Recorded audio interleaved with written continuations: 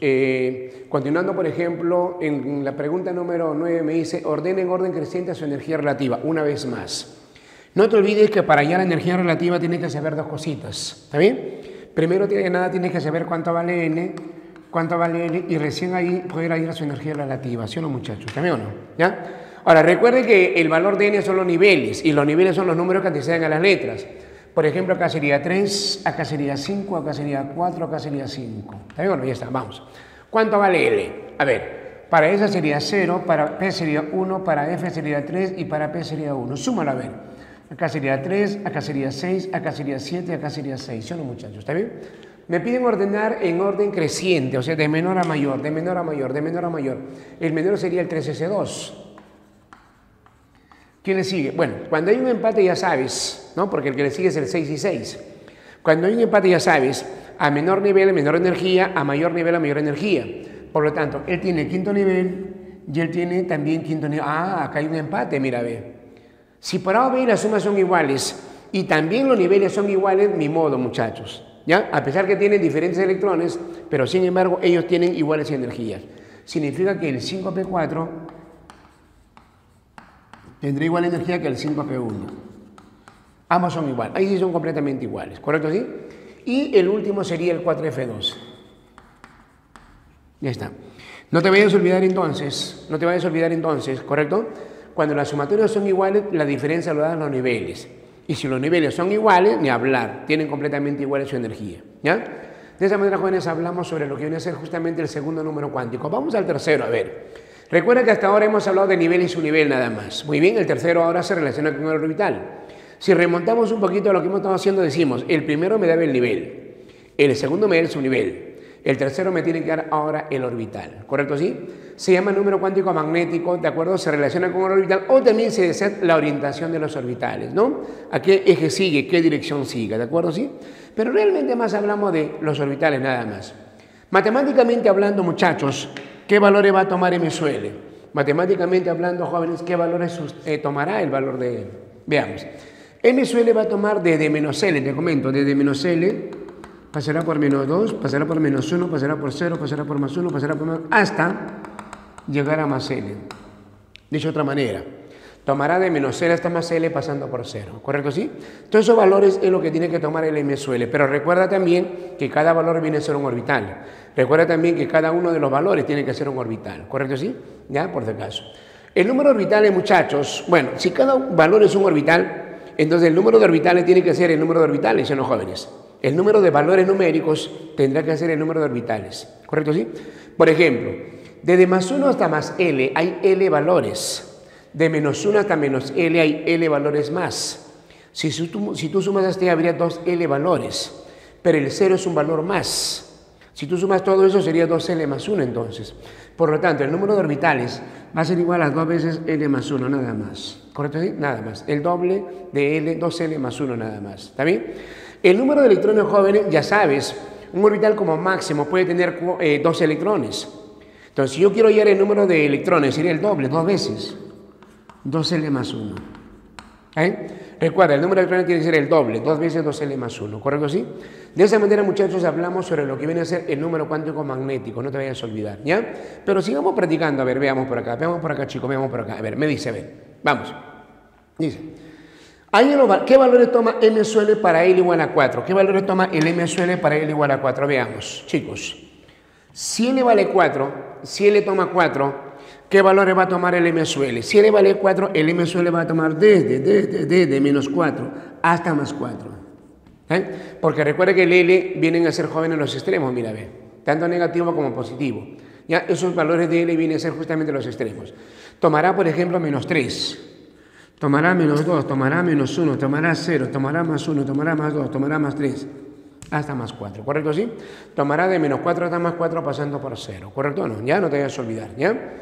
De igual manera, mira el ejemplo número 11, a ver.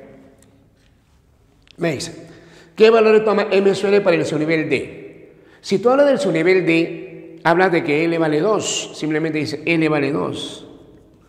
Y si L vale 2, el M suele, ¿qué va a ser igual? Va a ser igual a menos 2. Menos 1, 0, más 1, más 2. Recuerda, el extremo es el L De menos 2, de su, negativo hasta su positivo. De menos 2 hasta más 2 pasando por 0. ¿Correcto, sí? Será menos 2 menos 1, 0 más 1 más 2. ¿Correcto, sí? La pregunta era qué valores toma. La respuesta sería menos 2 menos 1, 0 más 1 más 2. ¿Correcto, sí? Ya, por si acaso. A ver, ejemplo número 12. ¿Qué valores toma MSL para el nivel fundamental? Oye, no te olvides que el nivel S se llamaba sharp, el P se llamaba principal, el D se llamaba difuso y el F se llama fundamental. Si tú vas a hablar entonces del nivel fundamental, vas a hablar de F. Y para él el L vale 3. Y si el L vale 3, ¿qué valor va a tomar MSL? Tomará D de menos 3. Recuerda, su extremo, recuerda, menos 3. Tomará, por ejemplo, menos 2, tomará, por ejemplo, menos 1, tomará, por ejemplo, 0, tomará más 1, tomará más 2 y tomará 3. De menos 3 hasta más 3 pasando por 0. ¿Correcto? ¿Sí? ¿Ya? Por si caso. De igual manera, mire el ejemplo número 13.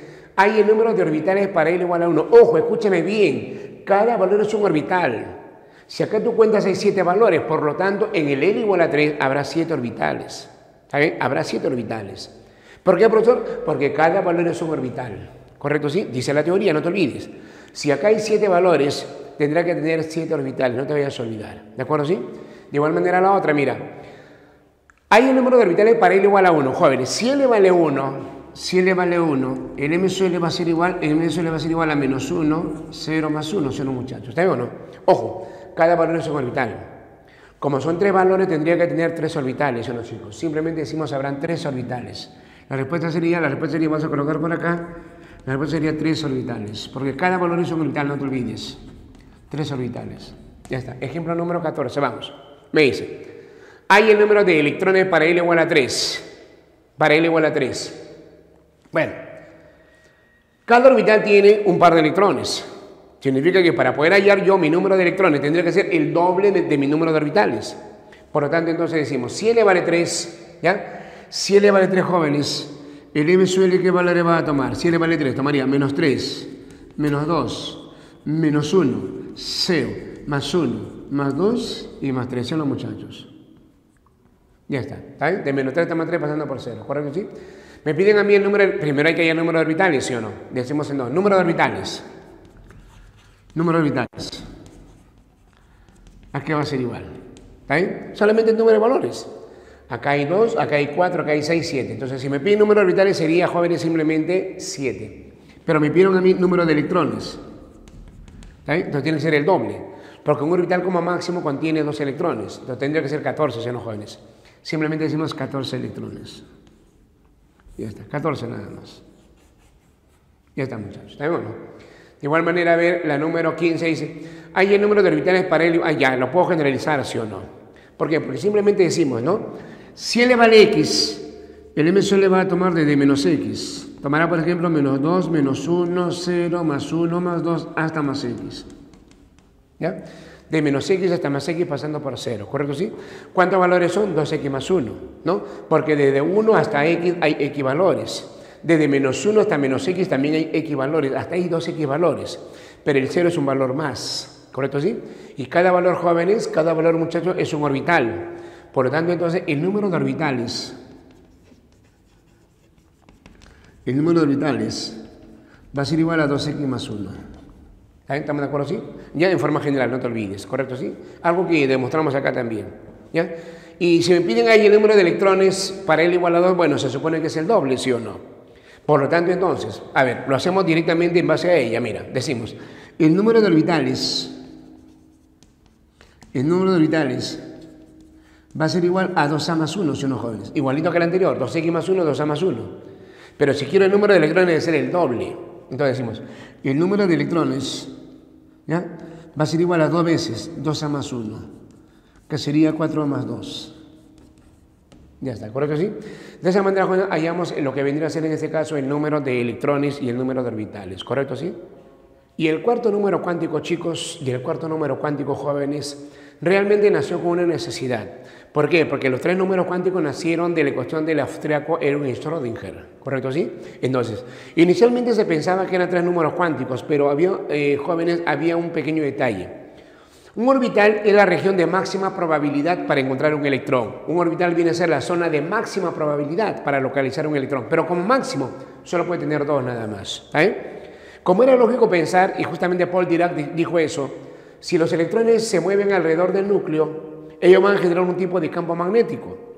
Y si los dos van a moverse alrededor del núcleo, van a tener que repelerse, porque van a generar el mismo tipo de, eh, de campo magnético.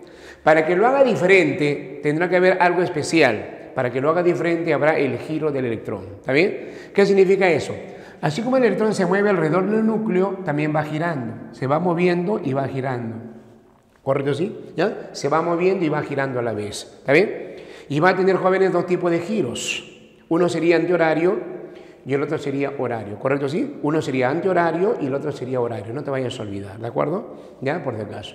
Entonces, muchachos, si por A o B el giro es antihorario, generará un campo magnético, por decir A ver, positivo, y si ahora B va a ser horario, sería negativo, de tal manera que los dos se, atraigan y no se salgan del orbital, los muchachos. Porque la idea es, lo máximo posible, tratar de demostrar que el electrón no se, no, se va de la nube electrónica. Entonces, uno de los factores por los cuales colabora es justamente su giro alrededor de su, de, su eje imaginario, ¿correcto? Por lo tanto, entonces, muchachos, por convención se le atribuye Giro antihorario, flecha para arriba. Giro horario, flecha para abajo. Flecha para arriba vale más un medio y flecha para abajo vale menos un medio. Ya está, ¿correcto sí? Giro antihorario y giro horario. ¿Correcto sí? Ya no te voy a olvidar. Flecha para arriba, recuerda, más un medio y flecha para abajo menos un medio. ¿Correcto? Te comento que el cuarto número cuántico no se relaciona con ninguno de ellos. ¿Por qué, profesor? Porque no nace de ellos.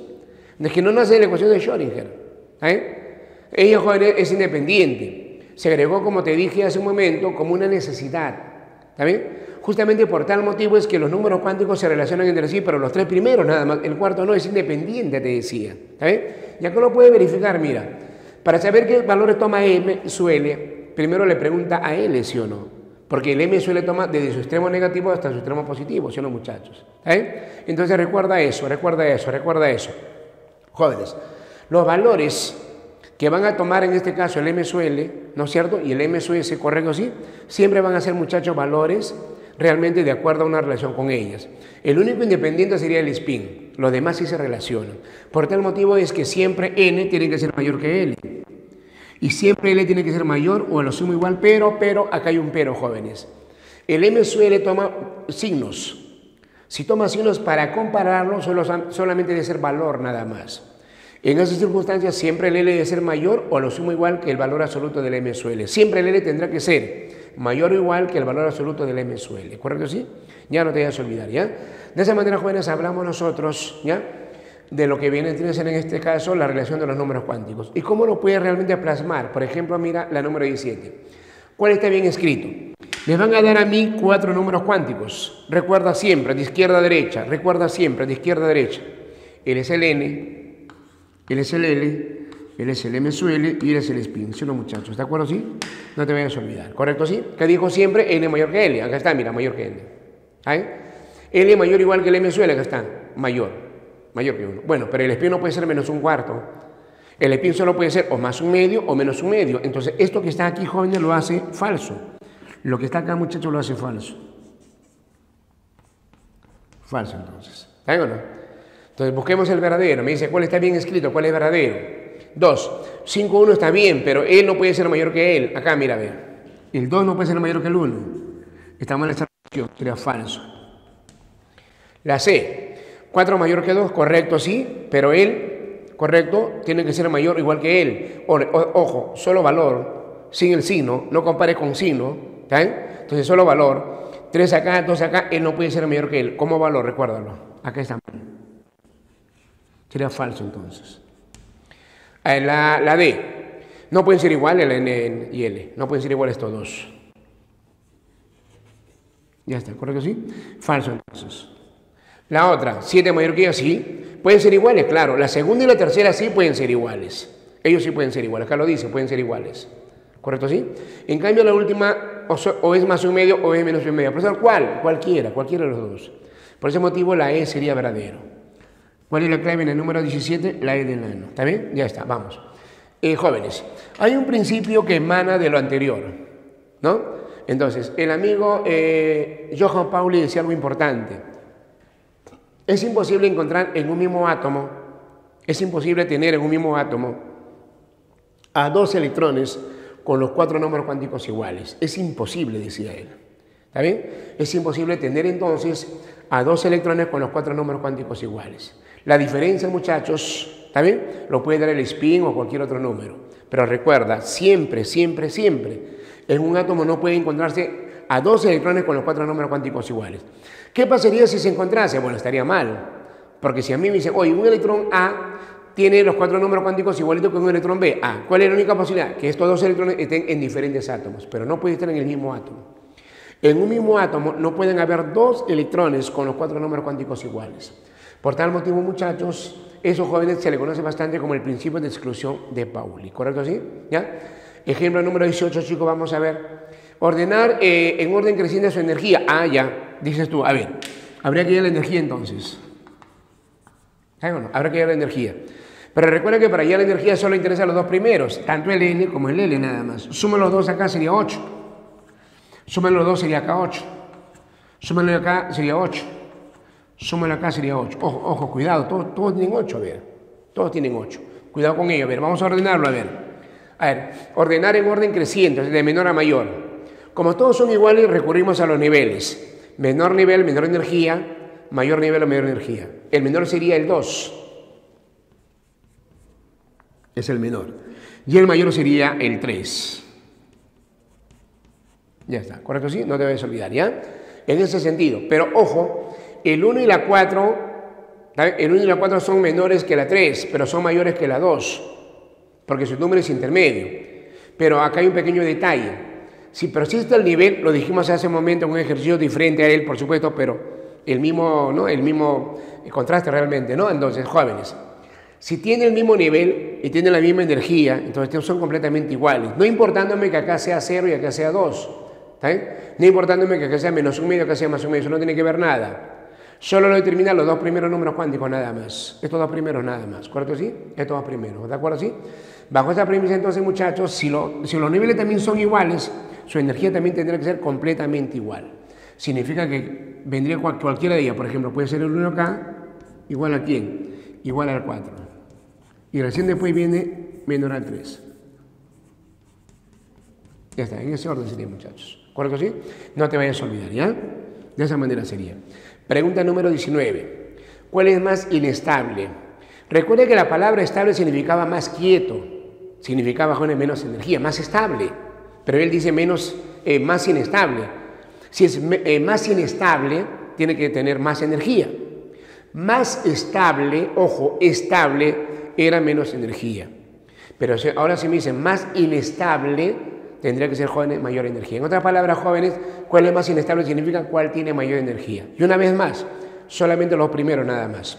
A ver, 6 más 2 sería 8, 3 más 2 sería 5, 7 más 0 sería 7, 5 más 3 sería 8, 4 más 1 sería 5. Ya está, muchachos, muy bien. ¿Correcto, sí? Una vez más, ¿quién tiene mayor energía? Supuestamente el 8 por acá y el 8 por acá es un empate, son los jóvenes. ¿Está bien? ¿Quién me da la diferencia? El mayor nivel.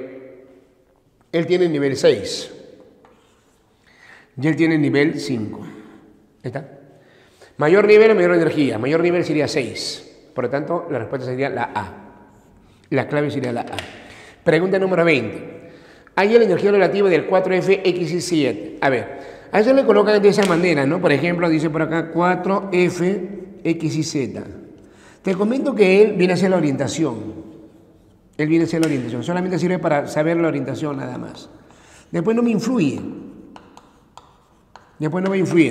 Solo pregúntate, para la energía tiene que saber dos cosas. ¿Cuánto vale N? ¿Y cuánto vale L? N vale 4. L vale 3. Para F, L vale 3. Súmalos, me da su energía. Entonces, su energía relativa va a ser igual a 7. Ya está, ¿está bien? Energía relativa va a ser igual a 7, ¿ya? ¿Estamos de acuerdo? De esa manera, jóvenes, hablamos, de esa manera ¿no? Eh, estudiamos lo que viene a ser los números cuánticos, ¿correcto? Sí, esos jóvenes son los llamados números cuánticos, ¿de acuerdo?